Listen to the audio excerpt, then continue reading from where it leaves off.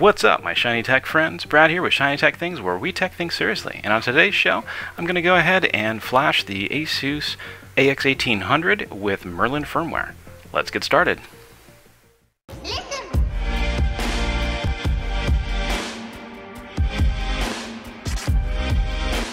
Before we get started, I just want to say that if you do decide to do this yourself, that you must accept the full risk of doing this, in which case if something goes wrong, it could end up costing you your router. Now, I'm going to go ahead and just get started. So I just did a Google search for Merlin firmware for the RT TAC AX56U, and we can see here the second entry is directly for the download.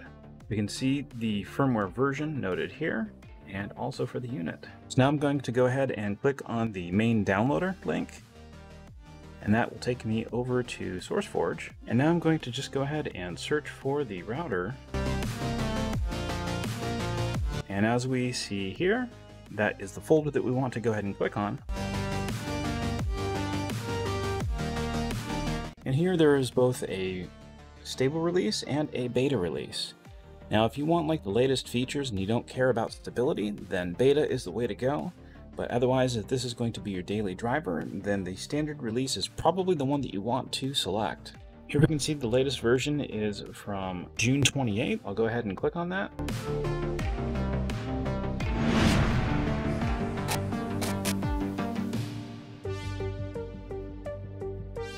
Then I'm going to save the file, and after it's saved, I'm going to disconnect from Wi-Fi and then connect via Ethernet back to the router. And the whole point of that is so that when I am uploading the new firmware, that I don't end up causing an issue because I'm uploading it over wireless, and if something got corrupted that it couldn't detect, then it could go horribly, horribly wrong.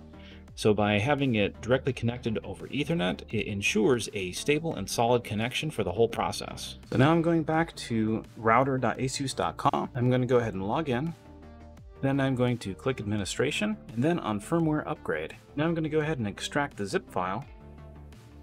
Go inside that folder, copy the full path, then under manual firmware update, click upload, then paste in the full path and select the file. Now we just hurry up and wait for it to upload and flash the latest firmware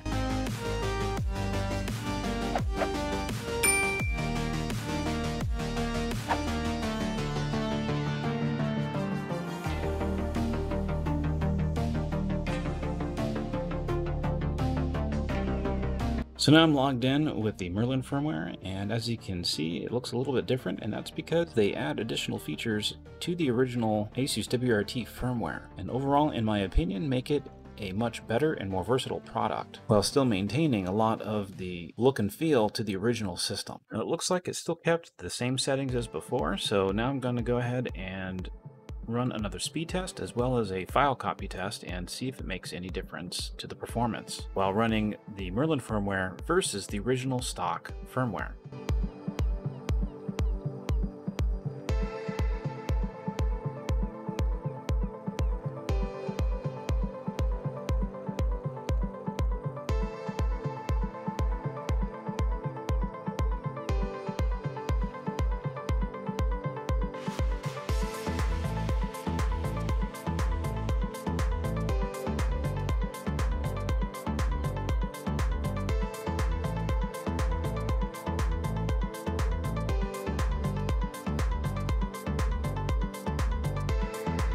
So that's it for today's video, and if you like this video, go ahead and slap that like button if you're into that kind of thing, and if you didn't like this video, then go ahead and slap that dislike button twice, so we know that you mean it.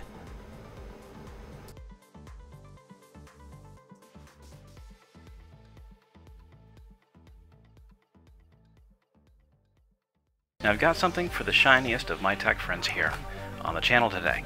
So this here this is a Supermicro motherboard with two Intel Xeon E5 2680 processors in it. Now I'm giving this away to viewers on my channel and I'm willing to pay shipping within the United States.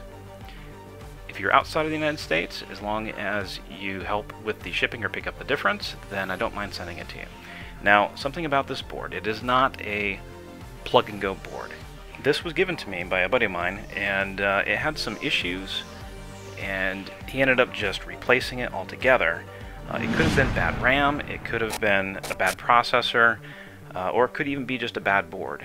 So if this is something that you could use and you have the additional hardware and technical abilities, I'd love to be able to send this out to you to be able to play with. And again, if this is something that you could actually use, go ahead and drop me an email in the subject. Go ahead and say, I like that shiny motherboard, and send it to brad at shinytechthings.com. But before you do that, go ahead and slap that like button and click on subscribe if you haven't already, and be sure to tell all of your friends and like minded shiny tech people that you know about this channel.